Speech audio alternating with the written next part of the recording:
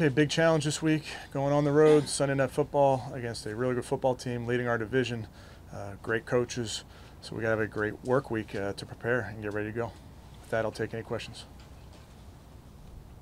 Kevin Baker wasn't on the pre-practice injury report, so just how much do you expect to be able to get out of him today in practice? Yeah, I, th- I think we'll see. I think it's always good when guys can practice uh, throughout the week. I think for all players, uh, it's good if you can put three days uh, together. And I asked him about this earlier, but like just throughout the week, how much have you seen him have to take on just more of the rehab and the treatment and all the things that he's got to do on top of getting prepared for the game?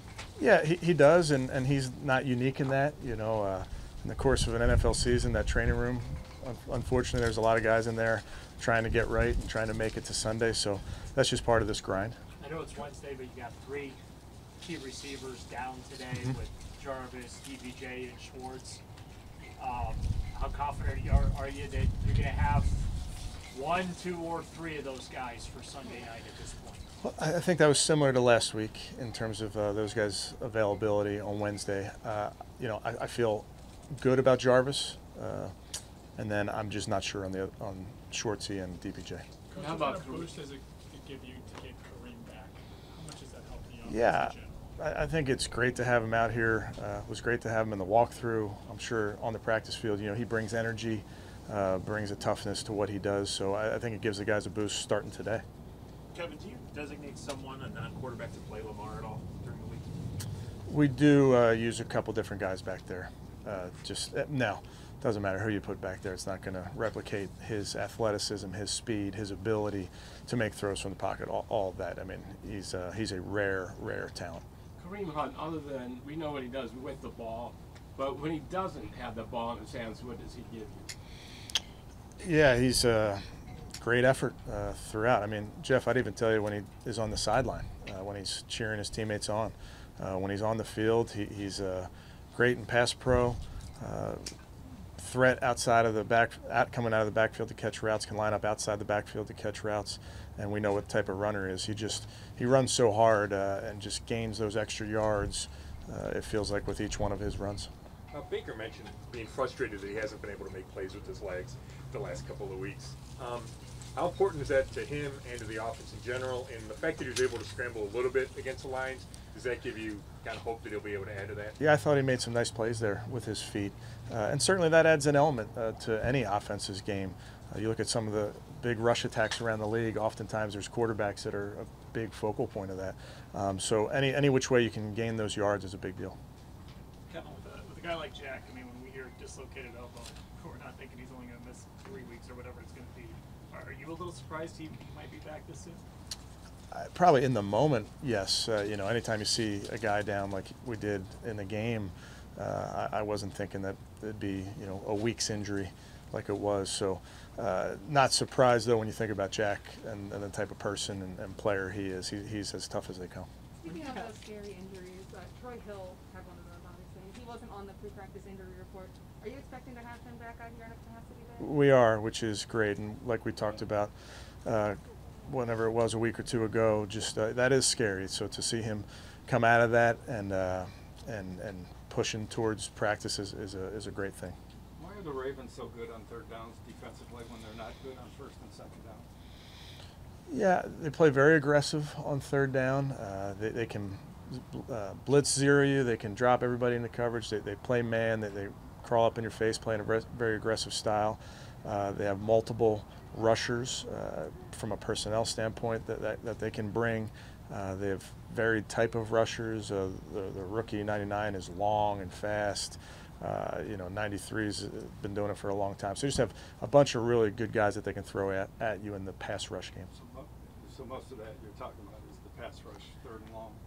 Yeah, I mean third and anything, they're they're, com- they're they they rush well, uh, and then they're they have good coverage. I mean, they got really good corners, so it's a combination of rush and coverage. How are you gonna handle tomorrow? Just push up the schedule? What's tomorrow? Uh, yeah, we'll push up the schedule a little bit. Uh, won't meet after practice. Does it mean Schwartz is still in the protocol with the concussion? Or have you seen him, like, is he making steps, I guess, toward a return? He's progressing. I don't know specifically where he is and all that, Scott. He was in meetings. Do you know if he's done anything on the field? Uh, I'm not exactly sure what he's done outside of practice. And AJ Green's out of the protocol. Yes. Kevin, I forget if we've asked you this, but this, it's kind of a scheduling oddity with them twice in three weeks. Mhm. How unique is it in, in your time in the league and, and what kind of challenges does that present? Yeah, I mean, very unique as far as, far as I've heard when the schedule came out. Uh, it's you know the closest thing I guess we've been a part of would be the Pittsburgh last year, end of the regular season and the playoffs. Similarly, I know we did that at the Vikings, finished with the Packers and faced them in the playoffs. So uh, it's rare, you know, you come in and, and you watch. You, both teams will come in and watch this tape, and then that's that's it. That's it for the tape. You're going to be watching at least from us. I know they have a game in between, uh, but uh, it, it certainly is is unique. Kevin, I understand each year is independent, but can, with where you guys are at right now, everything's still in front of you, but pretty much the margin of error is razor thin. Every week is a must-win from here on out, so in some way, shape, or form. Having gone through that last year, do you think that helps your team at all? The fact that they have some of that experience under their belt, going through a late season push. Yeah, I, I think we feel that sense of urgency every week. Uh, I, I know what it, the standings look like. I just, I know that we have got a big game this week and uh, versus a really good opponent. So we, we always feel that sense of urgency, uh, regardless of what the calendar may say. Some people would say the Ravens have had a lucky year. Others are saying it's just a result of their culture, their resiliency. Does it take a lot of years to build that as, a, as the coach of the team? Or do I don't know. I mean, I would just give them, uh, certainly give them credit for finding ways to win in the fourth quarter and overtime th- this year. I, uh, I don't have the exact stat, but a, a bunch of their ball games they've come from behind. Uh, so uh, we got to know that we're in for a 60-minute affair or more. It seems like Lamar Jackson can be stymied for three quarters, and then the fourth quarter he takes over a game. Um, is there anyone? Uh, how do you, you know, Kyler Murray's game was similar, and you didn't fare too well against him. So how do you make those adjustments? Yeah, I think uh, again, Tony, he's a great player. Uh, we, we respect him. Uh, uh, certainly, he has our, our attention, and it's just a matter of, of being sound in all of what you do for 60 minutes or more. I mean, you just you can't let up versus a great player. What makes Mark Andrews so effective? Very, very dependable. Uh, big, fast, great hands. Um, Baker could probably give you a better uh, scouting report than I could, um, but he, he gives everybody. Uh, he's a problem. He's hard to cover. I mean, I know you got you love your tight ends, but like, why is it so hard for defenses to counteract um, a really good, especially receiving tight end?